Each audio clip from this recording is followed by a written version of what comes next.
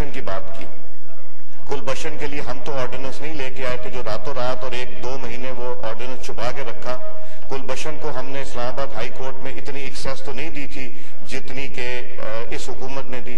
और अभिनंदन की क्या बात करते हैं? मुझे याद है शाह महमूद कुरैशी साहब उस मीटिंग में थे, जिसमें प्राइम मिनिस्टर साहब ने आने से इनकार कर दिया और चीफ ऑफ़ आर्मी स्टाफ तशरीफ़ लाए। पैर काँप रहे थे, पसीने माथे पे थे और हमसे शाह महमूद साहब ने कहा, फॉरेन मिनिस्टर साहब ने कि खुदा का वास्ता है, अब इसको वापस जाने दें चूँकि 9 बजे रात को हिंदुस्तान, पाकिस्तान पे अटैक कर रहा है। वो कोई हिंदुस्तान ने अटैक नहीं करना था, कुछ नहीं होना था, सिर्फ़ घुटने टेक के अभिनंदन को वापस भेजना था, जो इन्होंने किया। साहब की टांगे काँप रही थी।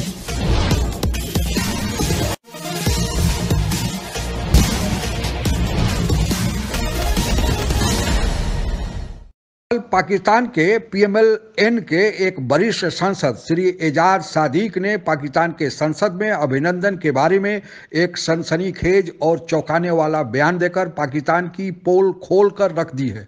उन्होंने यह स्वीकार किया है कि अभिनंदन की रिहाई के पूर्व सभी राजनीतिक दलों की लोगों की एक बैठक बुलाई गई थी, जिसमें पाकिस्तान के प्रधानमंत्री को भी आना था, पर वे नहीं आए।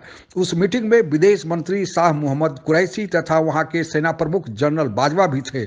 उनका यह कहना था कि अगर अभिनंदन की रिहाई तुरंत नहीं किया गया तो भारत हमला कर देगा। लिहाजा मजबूरन अभिनंदन को रिहा करना पड़ा, पर इमरान खान ने उस समय यह कहा था कि वह शांति का पैगाम देना चाहते हैं, इसलिए रिहा कर रहे हैं।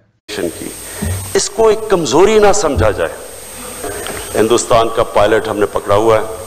हम एज ए पीस जेस्टर हम उनको उसको कल रिहा करने लगे हैं हिंदुस्तान को वापस। महमूद कुरैशी की टांगे काँप रही थी और आ, उसके बाद वहाँ पे आर्मी चीफ जनरल बाजवा भी बैठे हुए थे। साहब की टांगे काँप रही थी और और शाह महमूद कुरैशी साहब ने कहा कि अगर हमने अभिनंदन को ना छोड़ा तो इंडिया हम पे हमला कर सकता है। कि पाकिस्तान की जो सियासी पार्टियाँ हैं इनको क्यों इस चीज़ की समझ नहीं आती? कि जब आप हुकूमत पे तनकीद कर रहे हैं गवर्नमेंट पे तनकीद कर रहे हैं तो आप इस चीज़ को मेक श्योर sure करें कि वो तनकीद स्टेट ऑफ़ पाकिस्तान पे ना हो। गवर्नमेंट एक और चीज़ है और रियासत पाकिस्तान एक और चीज़ है।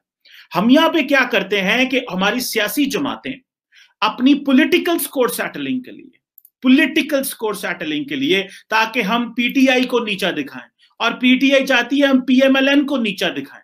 और इस सारे प्रोसेस के तहत वो करते क्या है कि वो रियासत को नीचा दिखाने की कोशिश करते हैं। टारगेट रियासत हो जाती है स्टेट ऑफ़ पाकिस्तान हो जाती है और बातें हम कर रहे हैं जी वो तो इमरान खान साहब घबराए हुए थे शाह महमूद कुरेशी साहब को पसीना आ रहा था। अपनी पब्लिक का प्रेशर आएगा उनके।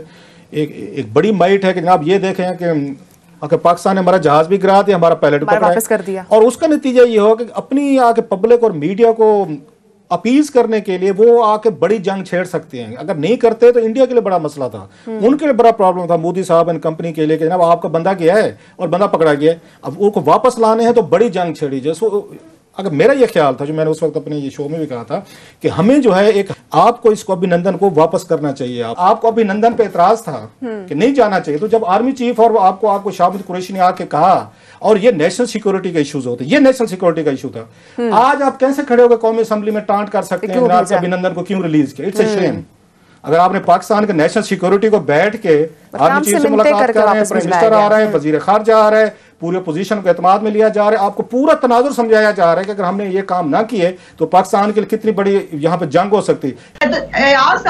ने एक फैक्ट बयान किया, जो उन्होंने शाह महमूद कुरैशी से सुना। और उसके ऊपर उन्होंने कहा यह बात क्या फैक्ट नहीं है नजामी साहब, कि जब ये अभिनंदन वाला वाक्य हुआ तो टेंशन बहुत ज़्यादा थी। आपको ये भी याद होगा कि जेट जो है, वो फ्लाई कर रहे थे और जो है, बहुत ज़्यादा झड़पें जो है वो होने शुरू हो गई थी कंट्रोल लाइन के ऊपर और बहुत ज़्यादा टेंशन थी। उसके ऊपर अयाज सादिक साहब वो आदमी हैं कि जो हमारी तरफ़ से जितने भी मामलात और मुजाकरात होते हैं हुकूमत के साथ ये तो वो हुकूमत है जो आज मुझे रियासत और हुकूमत का फ़र्क बता रहे हैं। जी। ये वो हुकूमत है कि जब कश्मीर के ऊपर बात हो तब ये साथ नहीं बैठते और जब ये अभिनंदन वाला वाक्य हुआ तब भी आर्मी चीफ को मीटिंग बुलानी पड़ी वज़ीर आज़म पाकिस्तान उस वक्त भी नहीं था। ये तो प्रॉक्सी है। ये तो चल रहे हैं पता नहीं अल्लाह के आसरे पर जो है वो इनको तो जी, जी। ना किसी चीज़ का पता है ना इनको कुछ शामिल करता है। कोई भी अहम मामला हो वज़ीर अजम पाकिस्तान तो होता ही कहीं नहीं। तो इसलिए ये तो तीन नाना तेरह में पता नहीं क्यों आ जाते हैं अपनी जो है वो करने के लिए। मेरी गुजारिश ये है कि एक फैक्ट बयान किया है आज सादिक साहब ने और ये फैक्ट पूरी दुनिया को मालूम है पूरे मुल्क को मालूम है। एक टेंशन थी और एक वो तभी तो आपने डर के अभिनंदन वापस भेज दिया ना। हमें आप गद्दार कहते फिरते हैं। अभिनंदन को आप बाहर भिजवाते हैं। और कल भूषण जो है उसके लिए रातों रात ऑर्डिनेंस ये हुकूमत लाई है निजामी साहब। आप उसको रातों रात उसके लिए ऑर्डिनेंस लाते हैं उसको कौंसलर रसाई दिलवाते हैं उसको उसके घर वालों से मिलवाते हैं। और गद्दार कहते हैं हमें कश्मीर आपके होते हुए आपके नाक के नीचे से मुद्दी ले जाता है जी जी। जिसको आप दुआएँ दे रहे थे। और गद्दार है हम टेंशन नहीं थी बिल्कुल थी। क्या क्या हमारे झड़पें नहीं हो रही थी? बिल्कुल हो रही थी। और इसमें भी कोई दूसरी क्या दूसरे मुल्क जो है वो इसके अंदर जो है, वो बैठ कर सालसी की बात नहीं कर रहे थे और पाकिस्तान इंडिया को किसी जंग से बचाने की बात नहीं कर रहे थे, बिल्कुल कर रहे थे। और उसके ऊपर शाह महमूद कुरेशी साहब ने अगर ये जुमला कहा है कि रात नौ बजे तक जो है, मुझे खुद मालूम है, मुझे याद है, अगर आपके आपके पास भी आपकी आर्कोलॉजी में होगा, कि आप निकाल के देखिए कि इस्लामाबाद रावलपिंडी के ऊपर भी जहाज़ घूम रहे थे और जो है, वो ब्लैकआउट का भी फैसला हुआ था। ये सब हुआ था। तो इसमें कौन सी बात है जिसके ऊपर पास नहीं रखा है सादिक साहब ने? और अभी हमने बड़े पास रखे हुए हैं, ये तो आप रहने दीजिए। बहुत सारी बातें हैं, बहुत सारी चीज़ें हैं जिसका हम अभी भी पास रखे हुए हैं। लेकिन अगर ये इस तरह से गद्दारी के कार्ड बांटेंगे, फिर जवाब आएगा। फिर ये नहीं हो सकता, हमने बहुत बर्दाश्त कर लिया, अब ये एक थप्पड़ मारेंगे, दूसरी थप्पड़ की दाल हम आगे नहीं करेंगे, अब उसका जवाब मिलेगा। जो आपका काम है, आप वो करें, आप देखें, आप क्या किया आज आपने? आपने इस मुल्क को क्या कंट्रीब्यूट किया? नहीं, उस पर नहीं नज़र रखनी। हमने हमने बताना है, जनरल बाजवा को उसने कैसे करना है? हमने एयर चीफ को बताना है, उसने काम का एयरफोर्स कैसे चलानी है? हमने वज़ीर अजम को बताना है, उसने हुकूमत कैसे करनी है? और सच्ची बात है कि मैं क्या कहूँ उन चैनल्स के मतलब कि जो ज़्यादा ये कॉमेंट्रीज कर रहे हैं ना कि उनको कौन सीरियस ले रहा है? नहीं fact of the matter is कि आपको ये जंग अवॉइड करनी थी हर हाल में अपने लिए नहीं, पूरे खत्े के लिए और अपने लिए नहीं इवन इंडिया के लिए। Fact of the matter is कि जिस जिसको जंग में मरने का शौक है, उसके लिए अभी भी मौका है, वो एलओसी चलाए और मर जाए जाके वहाँ। हमारे यहाँ पे जो अपोजिशन है वो कह रही, नहीं हाँ। हुआ है। आप लोगों को ज्ञात ही होगा, फिर भी आप लोगों की यादाश्त को ताज़ा करने हेतु। यह बताते चलूँ कि 14 फरवरी 2019 को पुलवामा में पाकिस्तान के चरमपंथियों द्वारा एक अटैक करके 40 सीआरपीएफ के जवानों को शहीद कर दिया गया था। उसके प्रत्युत्तर में भारत ने 26 फरवरी को पाकिस्तान के बालाकोट में स्ट्राइक करके चरमपंथियों के कई ठिकानों को तबाह और बर्बाद कर दिया गया था। फिर इसके उत्तर में सत्ताईस फरवरी को पाकिस्तान फाइटर जेट भारतीय सीमा में घुसने का प्रयास किए। इसी का पीछा करते हुए विंग कमांडर अभिनंदन, जो फाइटर प्लेन मिग 21 के साथ थे, पाकिस्तान की सीमा में प्रवेश कर गए। परिणाम स्वरूप पाकिस्तान की सेना ने इनके विमान को मार गिराया और अभिनंदन को बंदी बना लिया।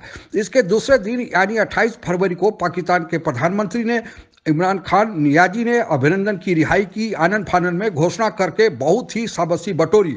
एक मार्च 2019 को अभिनंदन, भारत आ गए। पर अब सभी को पाकिस्तान का सच सामने आ गया है। पाकिस्तान शांति के कारण नहीं, बल्कि शक्ति के चलते अभिनंदन की रिहाई किया था। भारत एक मज़बूत देश है, सक्षम देश है और अपनी लोगों को और अपनी सीमाओं को हिफाजत करना जानता है। आप अगर हमसे जुड़ा रहना चाहते हैं तो कृपया मेरे चैनल को सब्सक्राइब करें तथा बेल आइकन भी दबा दें ताकि नई वीडियो की जानकारी तुरंत आप तक पहुँच जाए। धन्यवाद। जय हिंद।